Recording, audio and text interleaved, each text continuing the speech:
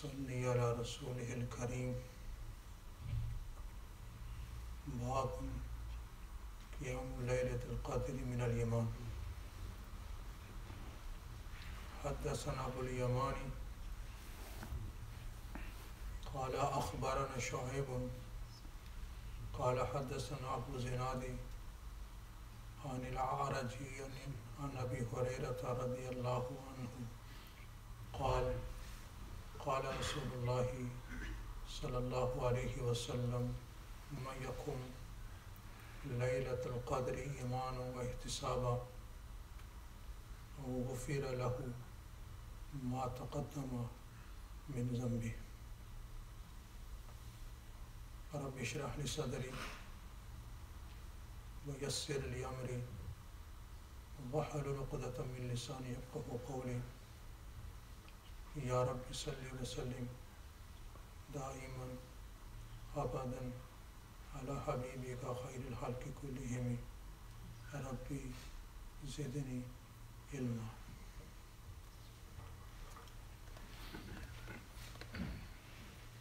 Respected elders, young brothers, friends, and my brothers and sisters. With the grace of Allah subhanahu wa ta'ala, here we are in the masjid. We have offered Salatul Isha. May Allah subhanahu wa ta'ala accept it. Now we are sitting in the circle of hadith from the book Sahihul Bukhari. The undergoing chapter is Kitabul Iman, the chapter of Iman, in which Imam Bukhari rahimahullah has quoted the ahadith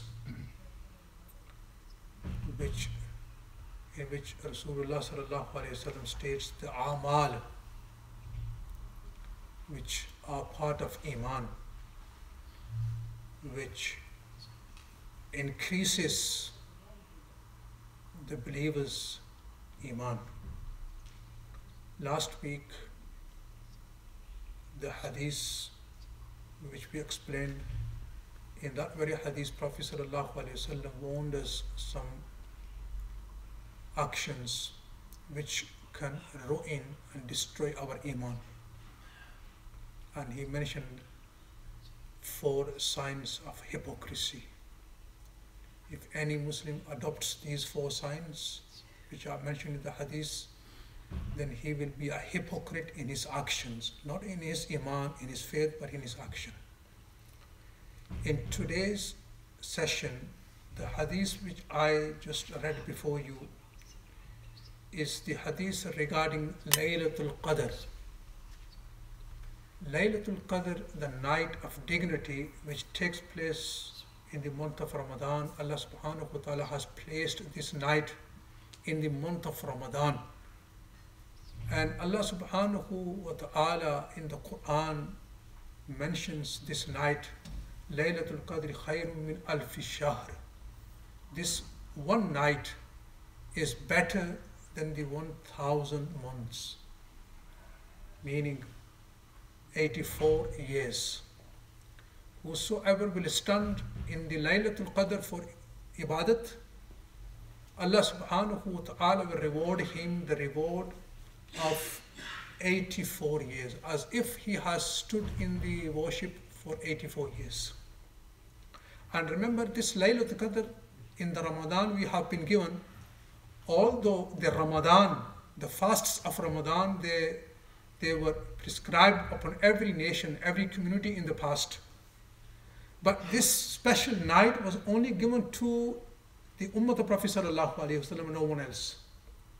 Only the Ummah of Prophet Muhammad Wasallam have been given this night. Here the Prophet Wasallam mentions, Man yaqum whosoever will establish the worship, meaning whosoever will stand in the in the worship in this very night for worship. Now standing, now don't only think that one has to offer the tahajjud prayer, meaning standing mean man yaqum, mean one, who stands in the Laylatul Qadr for worship, which means standing and meaning in the tahajjud prayer, in the nafil prayer. But the ulama is saying this includes every worship. In the night of dignity, if you offer the prayers, nafli prayers, the tahajjud prayer, or if someone recites the Quran, or if someone uh, does, just does the zikr by subhanallah, alhamdulillah, all this will be included in the worship. Whether you offer the salatul tahajjud, or you read the Quran, or you do verbal uh, dhikr of Allah subhanahu wa ta'ala, all this comes in man the one who stands. Now, in this hadith, Prophet sallallahu wasallam mentioned two things. Without these two things, no one worship ibadat will be accepted. And this hadith tells us not every effort, not every action is beneficial and acceptable in the sight of Allah subhanahu wa ta'ala. Just keep this in your mind always. Not every effort, every mehnat is accepted by Allah subhanahu wa ta'ala. No, every ibadat is accepted in the, in, in the court of Allah subhanahu wa ta'ala. Without the two conditions, if the two conditions are found, then we can hope, then you should remember, any ibadat we do, there are conditions for the ibadat.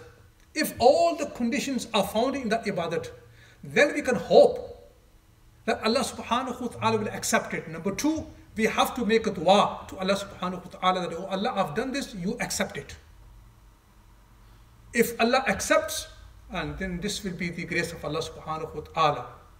And we should hope always, whenever we do something good, we should hope that inshallah Allah will accept it. And number two, we should make a dua to Allah subhanahu wa ta'ala. Oh Allah, I've done it, you accept it. And the two conditions are iman wa ihtisaba. Rasulullah sallallahu alayhi wa sallam says, whosoever establish the worship in the night of dignity, Laylatul Qadr, Allah subhanahu wa ta'ala will forgive his previous sins. But with the two conditions, iman wa ihtisaba. In the state of iman, number one, if one has iman, if one has iman, then inshallah his amal will be accepted. But with iman there is another condition, and that is ihtisaba. Now, this, this term ihtisaba means to hope that Allah subhanahu wa ta'ala will grant me reward upon this good action. To expect that Allah subhanahu wa ta'ala will accept it and Allah subhanahu wa ta'ala will, will, will give me the ajr and reward. If these two conditions are found in any amal, then we can hope that Allah subhanahu wa ta'ala will accept it. Imanum wa ihtisaba. In, a, in another verse of Surah Bani Israel, Allah subhanahu wa ta'ala says, وَمَنْ أَرَادَ الْآخِرَةَ وَسَأَلَهَا سَعْيَهَا وَهُوَ مُؤْمِنٌ فَأُولَٰئِكَ كَانَ سَعْيُهُمْ مَشْكُورًا Allah subhanahu wa ta'ala says that whosoever chooses the akhirat, whosoever opts for akhirat was sayaha and then he makes efforts for it as due. Now, making effort. First of all, Allah subhanahu wa ta'ala is saying, arad akhirah.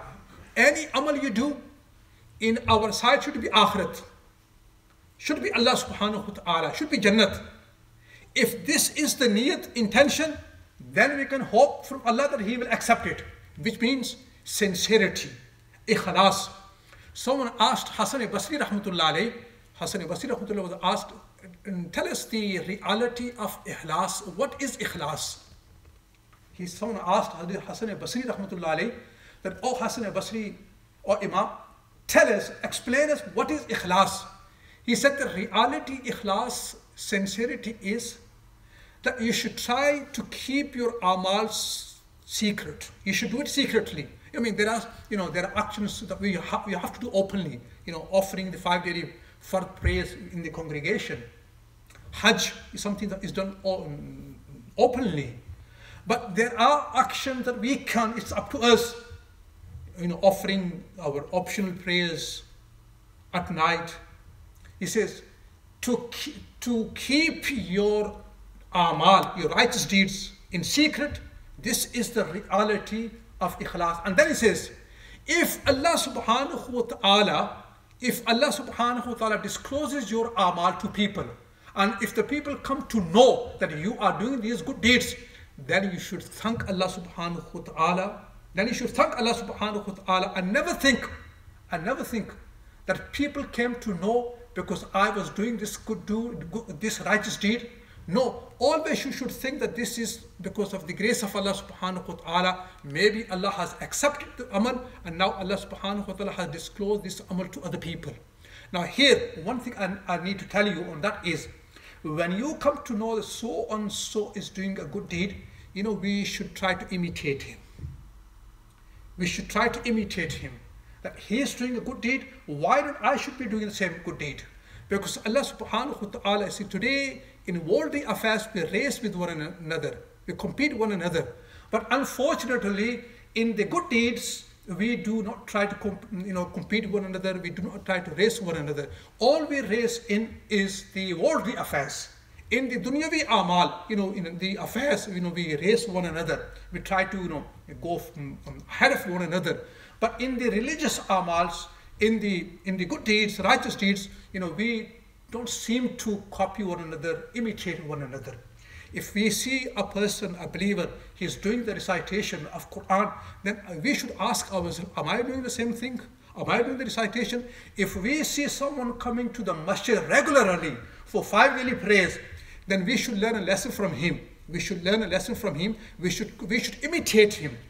We should imitate him that look, he is doing this. He is going to the masjid for regular prayers, then why should I not go to the masjid and offer the five daily prayers in the masjid? If we see someone in the masjid, you know, he tries to, you know, keep himself, you know, uh, silent, he does not talk to anyone, you know, he avoids talking of worldly things, you know, he engages himself in the, in the, in the dhikr of Allah subhanahu wa ta'ala, then we should imitate him. We should imitate this person. And we should say, we should ask ourselves, we should tell ourselves, look, he's sitting in the masjid, he's not talking with anyone, and you know, he's engaged in the dhikr of Allah subhanahu wa ta'ala. I should do the same. I should I should copy him, I should imitate him. So Allah subhanahu wa ta'ala says, Woman arad al akhirata. Woman arad al akhirata. Whosoever opts for akhirat, meaning when you do something good, when you do righteous deed, your need should be Allah subhanahu wa ta'ala, the pleasure of Allah subhanahu wa ta'ala. Now Allah subhanahu wa ta'ala, in other words, Allah says, فَمَنْ كَانَ يَرْجُو لِقَاءَ رَبِّهِ You know, Allah subhanahu wa ta'ala says, who hopes to meet his Rabb, فَلْيَعْمَلْ عَمَلًا صَالِحًا He must, Allah is saying, he must do righteous deeds. What we learn from here, righteous deeds. Now remember one thing, no one will enter into paradise because of his good actions. We should always keep this in our mind. Each and every one who will go into paradise, he will go into paradise because of the grace of Allah and rahmat of Allah subhanahu wa ta'ala. But remember, don't let the shaitan deceive us.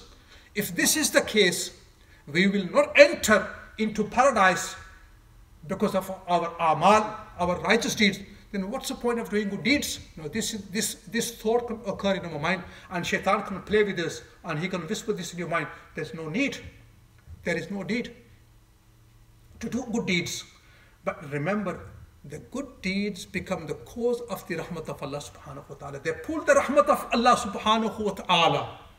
The deeds, the deeds bring you close to Allah subhanahu wa ta'ala. When you become close to Allah subhanahu wa ta'ala, then you will become the worthy of the rahmat of Allah subhanahu wa ta'ala. So the amal, the righteous deeds are the cause of the rahmat of Allah subhanahu wa ta'ala. They will make you worthy of the rahmat of Allah subhanahu wa ta'ala. One of the, it is mentioned, one of the companions, you know, he he used to do he used to do uh, he used to go in the in the path of Allah fight against the enemies of Allah subhanahu wa ta'ala and he you know he wanted you know he he wanted his his bravery to be recognized by people you know, he wanted to be appreciated by people. He wanted people to appreciate him. He wanted the people to praise him that how brave he is, that he is fighting in the path of Allah subhanahu wa ta'ala.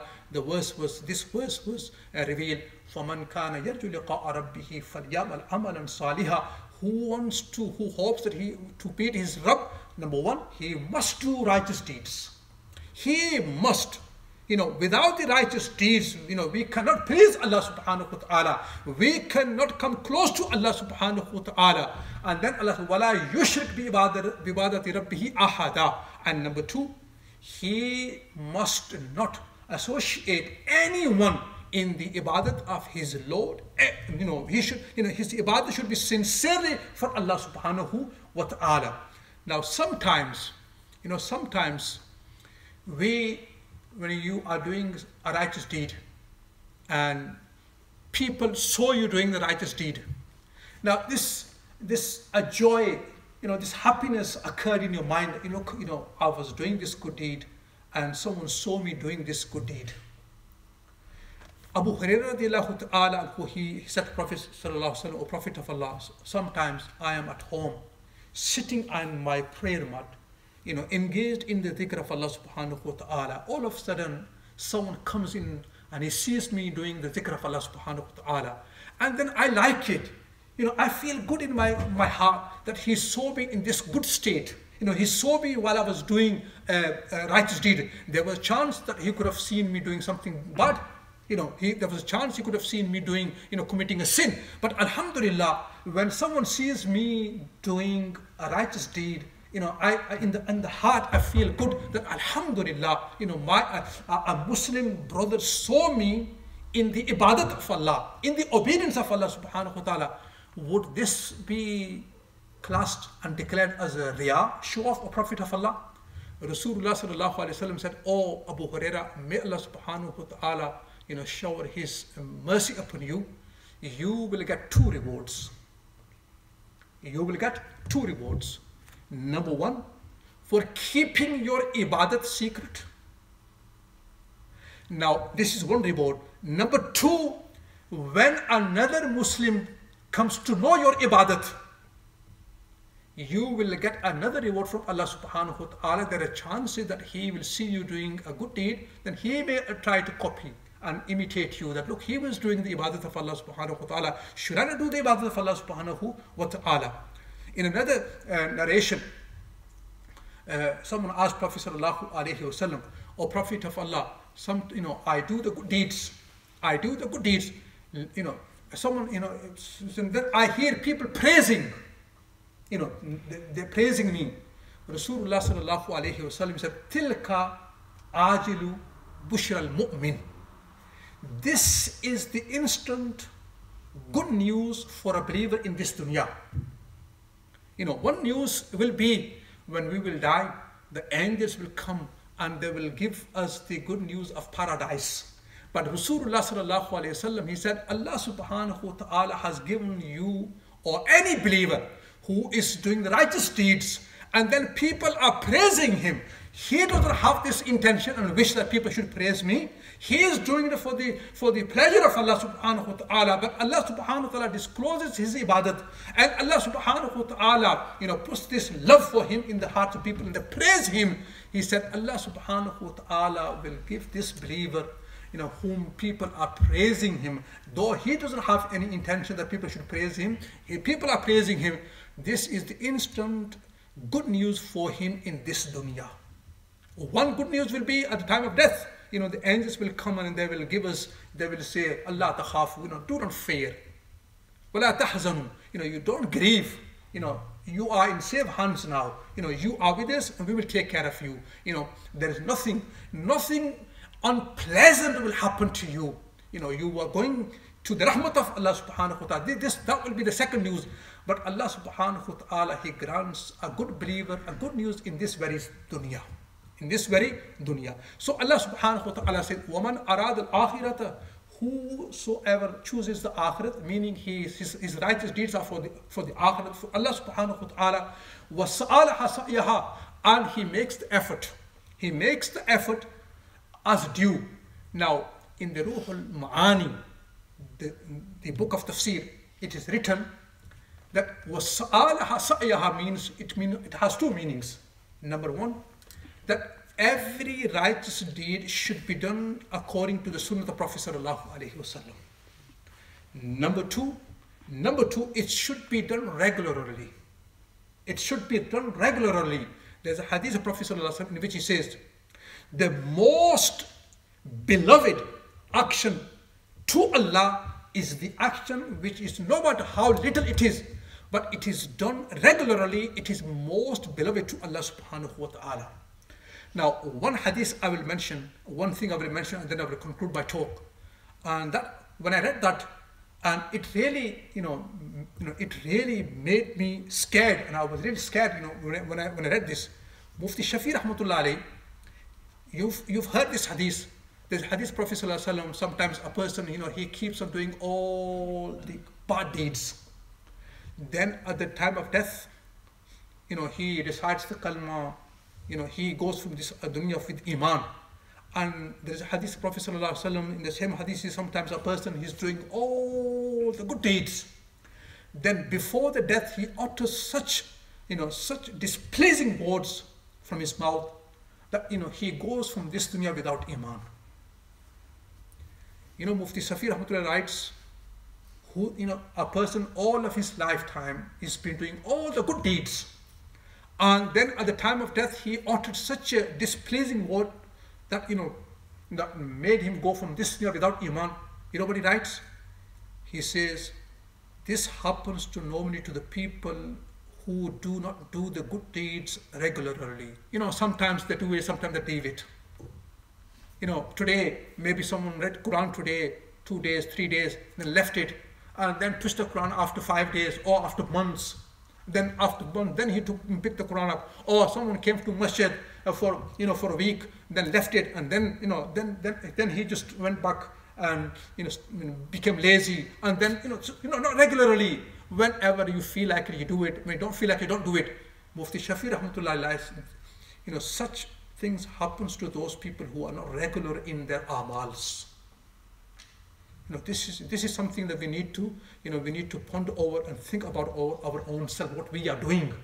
If this if such things is happening to us, sometimes we are active, sometimes we are lazy, then we should we should do tawbah to Allah subhanahu wa ta'ala.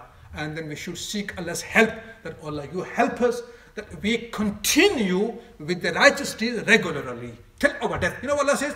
وَعْبُدْ رَبَّكَ حَتَّى يَأْتِيَكَ الْيَقِينَ You know, worship your Lord, do the ibadat of your Lord, not only month of Ramadan, or on, on, on Friday, or occasionally, but Allah is a continue worshipping your Lord till what time?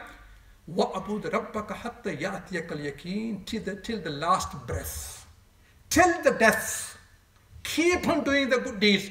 Then inshallah we can hope from Allah subhanahu wa ta'ala at the death, at the time of death, Allah subhanahu wa ta'ala will receive His help and Allah subhanahu wa ta'ala will protect our iman. And then inshallah through the sincerity and through the regularly our good amals inshallah at the time of death we will receive the help of Allah subhanahu wa ta'ala. He will protect our, our us against the shaitan. And then inshallah we can hope that Allah subhanahu wa ta'ala will take us from this dunya with iman. I ask Allah subhanahu wa ta'ala to accept this majlis and make a means of our forgiveness. Allahumma salli ala Sayyidina wa Mawlana Muhammadun wa ala alihi wa sahbihi wa barik wa sallim. Rabbana atina fi dunya hasanatun wa fil akhirati hasanatun wa qina adhaban nar. Rabbana la tuzigh qulubana ba'da idh hadaytana wa hab lana min ladunka rahma innaka antal wahhab. Rabbana taqabbal minna innaka antas samiul alim wa tub alayna innaka antat tawwabur rahim. Wa sallallahu ta'ala ala khayri khalqihi Muhammadun wa ala alihi wa ashabihi اجمائن برحمتک یا ارحم الراحمین۔